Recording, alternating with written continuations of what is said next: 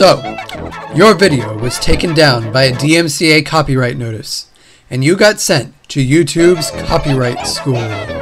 Copyright By now, you've watched the Happy Friends video, taken the quiz, and heard YouTube's opinion on everything you are not allowed to do in your videos.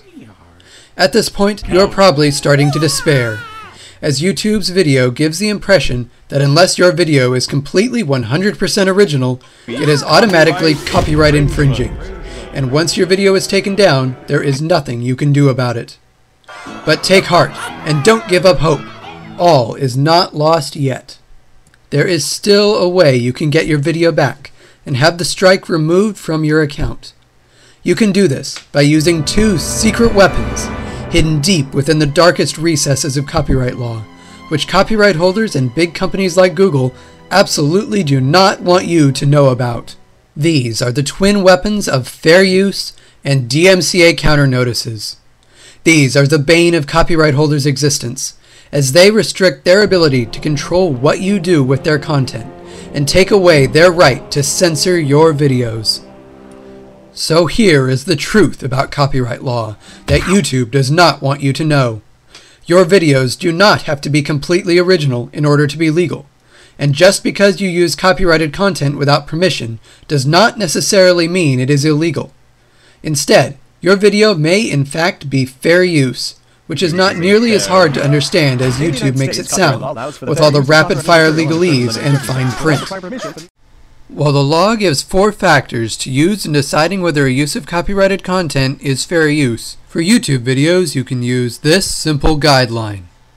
If your video is transformative, so that it imparts a new meaning and message to the original, and it does not compete with the market for the original or substitute for it, then your video is probably fair use. It also helps if your video is non-commercial and you are not benefiting from it in any way. If your video is fair use, then it is not copyright infringing, and you do not need the permission of the copyright holder to post it. If all you posted was a straight, unedited clip from a movie or TV show, or an entire copyrighted song without adding anything more to it, your video is still probably infringing. But if your video does not compete with the original, and you made a new use of copyrighted content, such as a remix or mashup video, it is probably fair use. Here are several examples of things that are probably covered by fair use. At this point, Sam Movie reviews and other types of commentary and criticism. back. Parodies, which mock or satirize the original work. should have ended. And finally, mashups, remixes, and other uses that completely transform the original into something new and creative. If your video that was oh, taken down falls into one of these categories, there is a strong possibility that it is fair use, and you have the right to file a DMCA counter notice with YouTube, which will require YouTube to restore your video and remove the strike from your account within 10 to 14 business days. Process for that.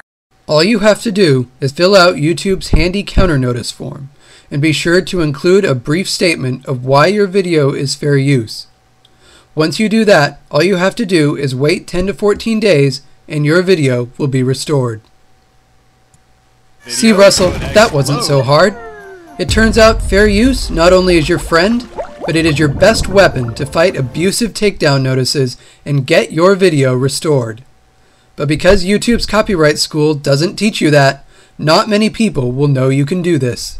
So it's your job to tell them and pass the word. Can you do that?